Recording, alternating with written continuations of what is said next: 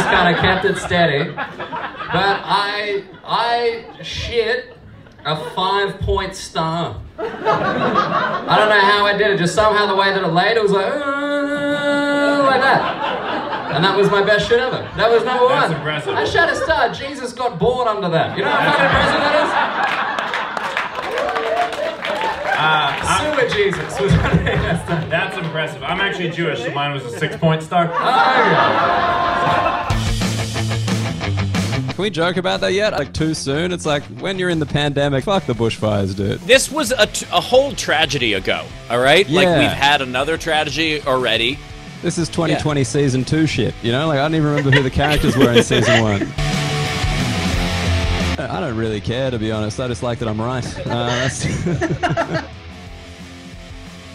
There's always a right answer. I'm doing a middle aged man desperately trying to hold on to his youth by playing rec league soccer. they call that the hear? stepdad in the in the Yeah. business. Uh, yeah. We got to ask each other a question that we've always wanted to ask each other. What is the worst it's gone for you when you've gotten high? This is such a easy fucking question. This is easier than the best shit I ever took. This is a fucking easy question.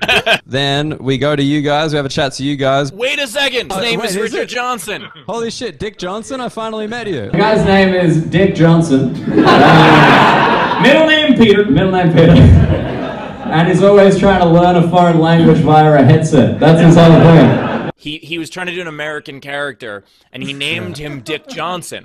And the fact that you A this is Johnson. this is amazing. This is okay. Anyway, Richard, and you got a headset you're our- that Dick Johnson would totally wear while he's learning Spanish out loud on a train. Someone said, "Is uh, Muggleton my real surname?" Uh, Richard Knoll. Yes, it is. That is my real surname. No one who is trying to get ahead in entertainment decides on Muggleton. And then you guys get to ask us whatever you want. It's called Ask Us Anything for a reason. It's get high every day. It's do enough to get you high every day. Like, I go by the letter of the law. I'm not trying to cheat this shit. This is the question I was asked. Gentlemen, what is your favorite conspiracy theory? There, there is a group of people online who believe that I am an actor who plays Edward Snowden. That Edward Snowden is not real. I actually got into like the moon landing one when I was like 14, and then I just realized like I don't know, I don't want to be punched by Buzz Aldrin. I'll I'll let it slide, you know. The moon landing to me is the ultimate example of there's no fucking way that would they would have kept that quiet. You think that someone wasn't going to try to pick up women with that in the 70s? Hey Steve, did your uh, mom ever catch wind of your 420 episode? She did, and she was supportive, and I'm so surprised.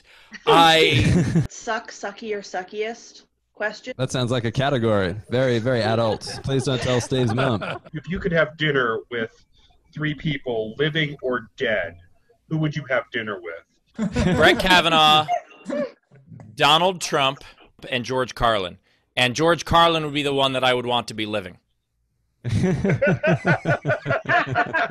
there something that might be on the internet that you're afraid that somebody might find and ask you questions about? Well, fuck. What did you find? Um, I like to think that I could stand by anything I've written or done or said. So, what the fuck did you find, Savannah? What did you find? Then at the end we finish off with a would you rather. Steve, you said no fuck Mary kills. We're going would you rather now. We're not doing fuck, married, kills anymore. I have fucked, married, and killed every single thing on this planet. Would you rather be caught with no pants at a funeral or at a wedding? Look, at a wedding, you've drank too much.